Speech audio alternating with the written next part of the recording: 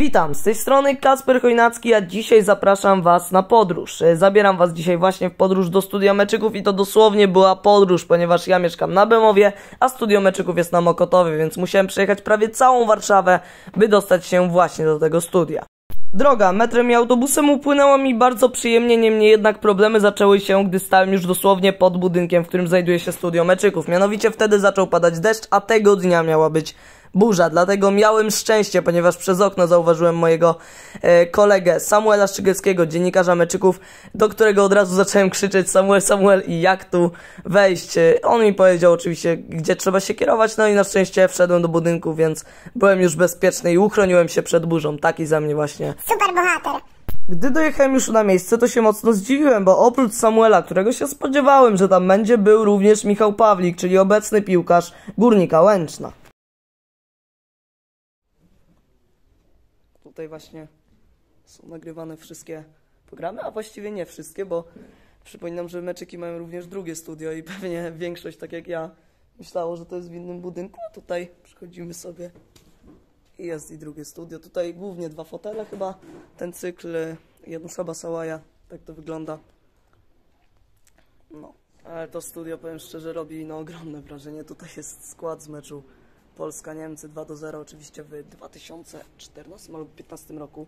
Mamy oczywiście przycisk za 100 subskryb- 100 tysięcy subskrybentów na kanale Meczyki. Są różne piłki, jest na przykład e, Youngbook Hyundai z autografami piłkarzy, jest e, też piłka jakaś e, tutaj Pucharu Polski, są rękawice KSW z autografami zawodników, więc naprawdę no to studio robi na mnie ogromne wrażenie. Oczywiście podświetlane logo meczyków, piłki jakieś, naprawdę bardzo fajne pamiątki i to studio trzeba przyznać, że robi ogromne wrażenie. No tutaj nagrywany jest głównie cykl dwa fotele, ale też piłkarski salon, więc jest tutaj wszystko, czego potrzeba, żeby po prostu nagrywać i tworzyć o futbolu.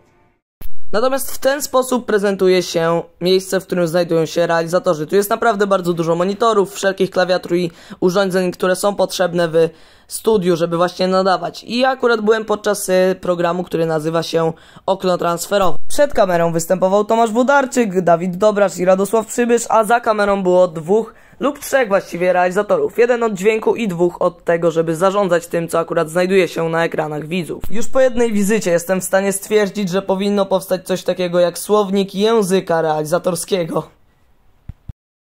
Tak właśnie prezentuje się to główne studio meczyków. Tutaj są też e, telewizory, żeby osoby, które akurat e, są przed kamerą mogły siebie zobaczyć, mogły poprawić się, mogły jakoś e, się przesunąć, mogły ogólnie widzieć, co widać na transmisji, bo to jest dosyć ważne w takich momentach i oni tutaj na spokojnie to widzą. Jest podświetlane logo meczyków, kamery, wszystko co jest potrzebne. Z kolei teraz możecie zobaczyć, jak to wygląda około pół godziny przed programem. Jest to czas, w którym ci, co będą występować, y, przygotowują się do programu, natomiast realizatorzy i osoby, które działają właśnie przy tej transmisji, już mają wszystko przygotowane, tylko przesyłają do siebie wszelkiego rodzaju grafiki, wszelkiego rodzaju rzeczy, ustalają, kiedy mają pojawić się na przykład sponsorzy, kiedy mają się pojawić inne e, tego typu wstawki. Dlatego jest to już moment naprawdę, kiedy intensywność jest e, naprawdę duża i nawet kiedy przejechałem już pół godziny przed jeszcze programem, to na przykład Tomasz Wodarczyk mówił, że nie ma czasu bez program, więc to jest naprawdę bardzo profesjonalnie przygotowywane i trzeba przyznać, że meczyki pod tym względem są jedną z najlepszych, o ile nie najlepszą redakcją w Polsce. Tutaj też ważna rzecz, w momencie, kiedy jest program, te drzwi, które mogliście przed chwilą zauważyć, są zamknięte. Wszystko to po to, żeby nie było przegłosu. On i tak lekki jest, ale przynajmniej nie słychać osób y, przez to, jak gadają, tylko przez mikrofon i przez głośniki, które są właśnie w studio. To jest naprawdę bardzo dobre, bo przez to po prostu ten dźwięk na transmisji jest lepszy, przez to też realizatorzy mogą lepiej pracować, mogą y, więcej wyciągać właśnie z tego, co dzieje się przed kamerą. Tutaj też warto zaznaczyć, że okno transferowe to jest program, w którym najczęściej występuje łączenie się z najlepszym absolutnie dziennikarzem, który podaje wszelkiego rodzaju, właściwie nie plotki, a informacje transferowe, bo najczęściej one się sprawdzają, czyli Fabrizio Romano. On zwykle jest właśnie na, na łączach, na linii. Tym razem go nie było, ponieważ e, pan Fabrizio po prostu nie miał czasu, ale nie ma co się dziwić, bo e, Fabrizio Romano to osoba, która podaje bardzo dużo informacji w ciągu chociażby jednego dnia. Tu też jedna z ciekawszych rzeczy, jaką zauważyłem w studiu, czyli komputer, który jest naprawdę ogromny. On był mniej więcej taką połówką mnie. A teraz czas już chyba przejść do tej vlogowej części, gdzie będziecie mogli usłyszeć normalnie dźwięk, który był na nagraniach. Tak więc tutaj jeszcze kilka ujęć na studio i Bardzo serdecznie Was zapraszam do wysłuchania teraz tego, co mieli do powiedzenia dziennikarze tego dnia.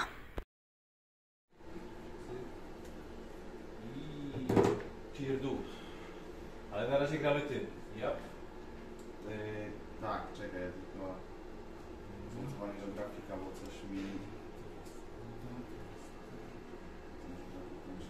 Stosowane, ale na razie nie ma tematu. Ale że gdzie? Wiesz, mogę za bardzo nie wiem, co zrobić. Tak, że dokąd, dokąd? I ten też słyszałem, że jakieś zapytanie dostanie. Mówisz o swoim klubie, tak? O kurwa. I pierdół. Ale na razie gramy tym. Ja? Yy, tak, czekaj, ja tylko zadzwonię do grafika, bo coś mi... Jesteśmy w grupie. Przesady, wszyscy wiedzą, że prawie wygląda tego. Niby tak, no ale po obrazku napis okno transferowe, a i krychowiaka to wiesz, jest różnica. Dlaczego trzeba program promować? Always look on the bright side of life. Już myślałam, że mi się upiecze Dzisiaj dzisiaj. nic? Aha, nie tak łatwo. Będziesz musiał nam Kacper wysłać, zanim to opublikujesz, bo to mogą być brzydkie rzeczy. No, mówię, że zgorzej niż zalaty będzie. Bo to jest kwintesencja, że oni nie popełniają błędów. Oni mają wyjebane, że oni się czują bezkarni. Oni są takie ślumaczani politycznie. Mówi, lato ostatniej chwili, którą możecie przeczytać już na naszym e, portalu, rozszerzymy ją e, podczas e, programu. Grzegorz Krychowiak bardzo blisko dołączenia do APKA Klub, czyli zespołu Czesława Michniewicza. Kontrakt 1 plus 1. Więcej szczegółów od godziny 14 w oknie transferowym i dużo bardzo innych ciekawych transferowych. Zapraszam. Chodzi mi to po głowie. Nie, nie, nie, nie. Właśnie dwa razy wiesz, nic nie pomógł. W tym meczu co z Noctem nie pomógł. Ale człowiek od pierwszej ligi mówi, że to jest złe wrażenie, to nie będę się siłował. końcówce sezonu, teraz chyba... I jeszcze go grałem. Super, super bet to jest super bet. ale Andrzej, to jest już elektryka, ja ci powiedziałem. To bez gramy wtedy, jak ja ci mówię, a ty ją Ja grałeś. co ją powiedziałeś super bet. Nie powiedziałem tego słowa w Nie widzi uznania w oczach Fernando. Sorry, sorry, to- że. Spokojnie. On powiedział super becie, ale ty nie słuchasz ani prowadzącego. Pobierają. Jeden świadczenia po specjalnie, prostu spaj są być może bardzo prawdopodobnie kierunek na wschód, na Bliski Wschód. Yy, Zaczniemy od A wcześniej powiedziałeś, powiedziałeś mi super beta, nie powiedziałeś. Te sprawy zaczęły się w to ostatnich ty poszedłeś do nagrania. jak przeciągać. Tak. E, Nie, nie będzie tylko spokojnie, mam nadzieję. Możesz zagrać, zastanawiam się nad tym. Czy A chcemy grać człowieka z boiskach. jedna po drugiej, bo ja bym tak nie robił. Nie, nie, no jedno po drugie to po co? Może bym mieć odhaczone i zaliczone, ale ja bym zagrał najpierw Za chwilę będzie też polskie podwórko, będą dzisiaj wieści dotyczące Ale nie, Lechia. warto trzymać, bo widzę, że Michał Szronik oficjalnie publiku Zabrza tego trzeciego roku e, życia i tutaj Legia Warszawa dostanie kilkaset Musiałem sobie posegregować, bo A to będzie sobie posegregowane. Sebastian Tak, będziemy grać to sporo tego e, nastoletniego życia do 20 wszystko z żoną e, Laurą podrapać się po głowie, popytać ludzi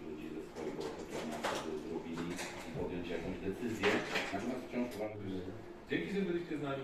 Tradycyjna prośba na koniec w górę. Widzimy się przy kolejnych naszych programach, a o 15 już kolejny czwartek. Do zobaczenia. I pierdół. No i tak. 15. No coś tam nadają chyba. Mogę ty jody Tak, o 15 i o 20. To już nie będzie nigdy potrzebne. Nie, ale też są oni chyba... O, o, ale efekt, ale efekt będę miał. Wiem, mam. Taki ge- gest. Hej Tanaszu. Raz będę miał, ale mówkę nieco szybciej. Yy, Zakończyłem raz. szczerze mówiąc. Ale grono kibicowskie to będzie za późno. A wiesz, jest i ekstra kasa i liga. No wiem, tylko Prawdopodobnie Przed Ekstraklasą masz większą pompkę, że ludzie ci to obejrzą w czwartek, jest piątek, duża, nie? duża szansa, że zrobimy jedno i drugie jednego dnia, czyli w środę. Żeby mieć to zdanie. Kto będzie chciał, to i tak to To już koniec tego materiału. Jeżeli on Ci się spodobał, zostaw łapkę w górę. Jeżeli chcesz śledzić moje ruchy na bieżąco, zostaw subskrypcję na tym kanale. Z góry dziękuję. Przypominam też, że zdjęcia z tego dnia pojawiły się na moim Instagramie, tak więc zapraszam. To by było na tyle. Cześć!